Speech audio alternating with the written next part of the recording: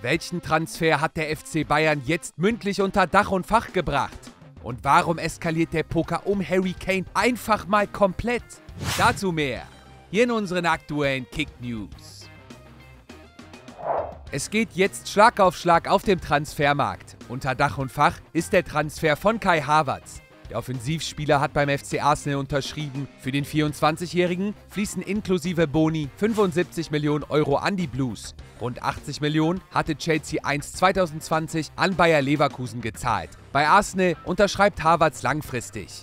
Trainer Mikel Arteta bekommt seinen Wunschspieler für die Offensive. Die Londoner haben die Konkurrenz um Real Madrid und Bayern München ausgestochen. Bei Chelsea fällt Havertz dem Umbruch unter Besitzer Todd Bowley zum Opfer. In der abgelaufenen Spielzeit kam der Ex-Leverkusener in 47 Pflichtspielen auf 9 Treffer und einen Assist. Eduard Mendy folgt dem Ruf des Geldes. Der Schlussmann setzt seine Karriere in der Wüste bei Al-Ali fort. Wie der saudische Verein bekannt gegeben hat, kommt Mendy vom FC Chelsea und erhält einen Vertrag bis 2026. Der Franzose kassiert 11 Millionen Euro pro Jahr inklusive möglicher Bonuszahlungen in Höhe von 3 Millionen. Im Raum stehen 19 Millionen Euro Ablöse. Gemeinsam mit den Blues hat der Senegalese 2021 die Champions League gewonnen. Dazu wurde der 31-Jährige von der FIFA im selben Jahr zum Welttorhüter gekrönt. In der abgeschlossenen Spielzeit hat Mendy bei den Londonern allerdings keine große Rolle mehr gespielt. Und auch James Madison hat einen neuen Arbeitgeber. Mit Leicester City ist der Engländer in die zweite Liga abgestiegen. Für den 26-Jährigen geht es aber trotzdem in der Premier League weiter. Madison setzt seine Karriere bei Tottenham Hotspur fort. Londoner haben die Verpflichtung des Spielmachers offiziell verkündet. Madison unterschreibt einen bis 2028 gültigen Vertrag. Die Foxes kassieren rund 46 Millionen Euro Ablöse.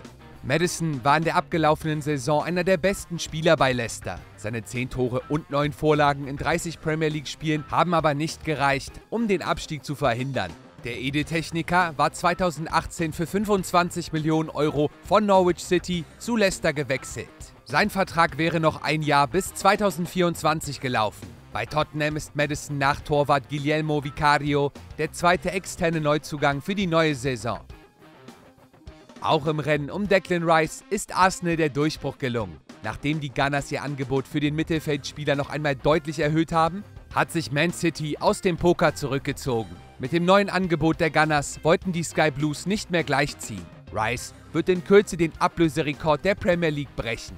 Arsenal hatte zunächst 93 Millionen Euro plus Boni geboten. Anschließend wurde auf 105 Millionen Euro erhöht. Manchester City war mit diesem Angebot dann mehr oder weniger gleichgezogen. Das hat die Gunners veranlasst, nochmal deutlich nachzulegen. 122 Millionen Euro plus Boni in Höhe von 6 Millionen. So lautet das letzte Arsenal-Angebot für Rice.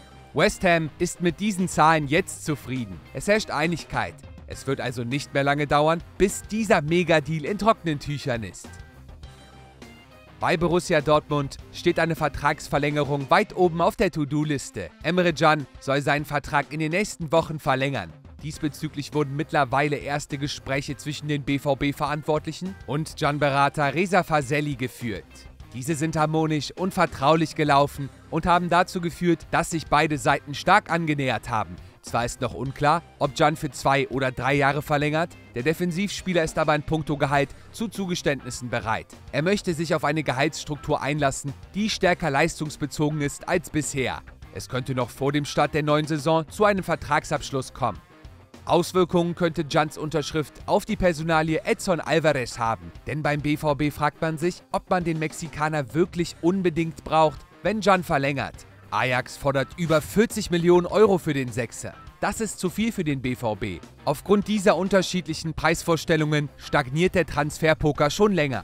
Mit dem Spieler selbst gibt es aus BVB-Sicht weniger Probleme. Alvarez ist von einem Transfer nach Dortmund durchaus angetan. Möglicherweise muss sich der 25-Jährige aber bald nach einem anderen Club umsehen, falls die Borussen den Deal endgültig platzen lassen sollten. Durch die Zusage von Jan hat sich die Verhandlungsposition bei Alvarez zumindest klar verbessert. Max Kruse könnte ein halbes Jahr nach seinem Aus beim VfL Wolfsburg in den deutschen Profifußball zurückkehren. Der vereinslose 35-Jährige ist jetzt ein Thema in der zweiten Liga. Der SC Paderborn zeigt großes Interesse am Offensivspieler. Die Ostwestfalen haben im Angriff nach den Abgängen von Dennis Rebeni und Marvin Pieringer durchaus Bedarf. Zudem hegt Paderborn nach Platz 7 und 6 in den letzten Jahren sportliche Ambitionen in Richtung Aufstieg. Schon heute wird Kruse den Medizincheck in Paderborn absolvieren. Für Wolfsburg hat der Ex-Nationalspieler zuletzt im letzten September auf dem Platz gestanden. Jetzt steht er also vor dem Comeback in Liga 2. Der FC Bayern legt nach im Poker um Harry Kane. Nachdem das erste Angebot in Höhe von 70 Millionen Euro plus Boni direkt abgelehnt wurde, will der deutsche Meister nicht lange warten und das zweite Angebot einreichen. 93 Millionen Euro inklusive Boni sollen Tottenham überzeugen. Es wird aber erwartet, dass die Spurs auch bei diesen Zahlen den Kopf schütteln werden. Am liebsten würde man Kane behalten. Bayern muss also wohl nochmal erhöhen, um Tottenhams Boss Daniel Levy doch noch zu überzeugen. Was für die Bayern spricht? Sie haben die Zusage des Torjägers schon in der Tasche. Kane will nach München kommen. An ihm wird dieser Deal wohl nicht mehr scheitern. Beim deutschen Rekordmeister setzt man deshalb jetzt auf die Hilfe von Kane selbst. Die Verantwortlichen an der Säbener Straße wollen, dass der 29-Jährige seinem Wechsel ein wenig auf die Sprünge hilft. Das heißt, er soll aktiv ein Wechselgesuch bei seinen Bossen einreichen. Für die Bayern ist erfreulich, dass sich Manchester United mittlerweile aus dem Poker verabschiedet hat. Problematisch für die Bayern ist aber das starke Interesse von Paris Saint-Germain. Bei PSG beobachtet man die Entwicklung um Kane ganz genau und man schaltet sich jetzt in den Poker ein. Le Parisien berichtet, dass Paris mit dem Kane-Umfeld verhandelt. Der französische Meister ist bereit, die Bayern bei Gehalt und Ablöse zu überbieten. Der Preis für Kane wird also in die Höhe getrieben. Ob der Vorstoß noch rechtzeitig kommt und ob er bei Kane überhaupt auf offene Ohren stößt, das ist eine andere Frage. In Paris hält man sich jedenfalls auch andere Alternativen warm. Neben Victor Osimhen von Neapel ist und bleibt Rondal Kolumuani von Eintracht Frankfurt ein Thema. Bei einer anderen Personalie sind die Bayern sogar schon deutlich weiter. Dem Transfer von Min Jae Kim steht fast nichts mehr im Weg. Nachdem sich der Napoli-Innenverteidiger zuletzt schon auf die Münchner festgelegt hatte, wurden nun alle Details geklärt. Wie Fabrizio Romano berichtet, besteht mittlerweile eine komplette mündliche Einigung zwischen den Bayern und dem Südkoreaner. Nach Infos von Fußballtransfers wird Kim 10 Millionen Euro netto pro Saison verdienen, deutlich mehr als bislang in Neapel.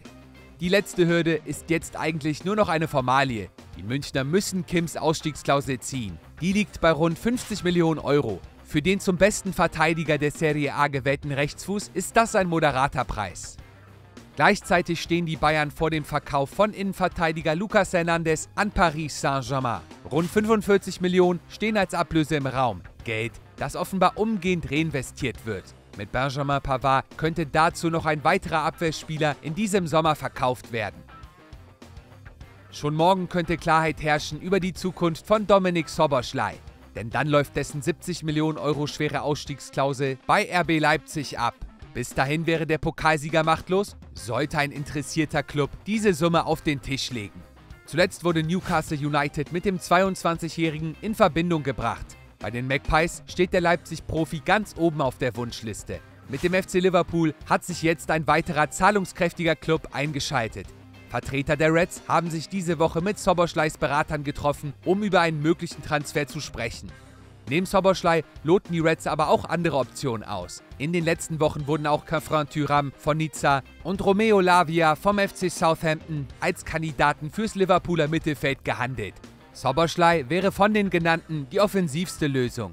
Noch ist aber auch Newcastle mit im Rennen. Weil James Madison zu Tottenham Hotspur gewechselt ist, widmet man sich beim Scheichclub wieder verstärkt der Akte Soboschlei.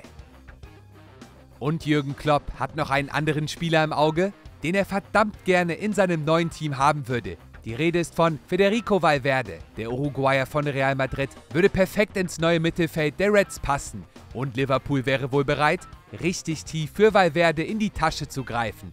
Englische Medien berichten, dass die Reds mittlerweile bereit sind, bis zu 90 Millionen Euro für den 24-Jährigen hinzulegen. In Madrid will man davon bislang aber nichts wissen. Valverde hat noch einen Vertrag bis 2027 und der ist eigentlich fest eingeplant. Ob es nach der Verpflichtung von Jude Bellingham und den Verlängerungen mit Toni Kroos und Luka Modric für einen Stammplatz reichen wird, das ist aber ungewiss. Real muss sich deshalb gut überlegen, ob man wirklich jedes Angebot für Valverde ablehnen will. Schließlich könnte man das Geld für einen neuen Topstürmer gut gebrauchen. Und die sind bekanntlich alles andere als günstig. Kilian Mbappé lässt grüßen. Wie viel Geld sollte Bayern maximal für Harry Kane in die Hand nehmen? Schreibt uns eure Summen in die Kommentare. Das waren wieder unsere aktuellen Kick News. Bleibt stark, nur noch ein Tag, dann ist endlich wieder Wochenende. Wir hören uns morgen wieder.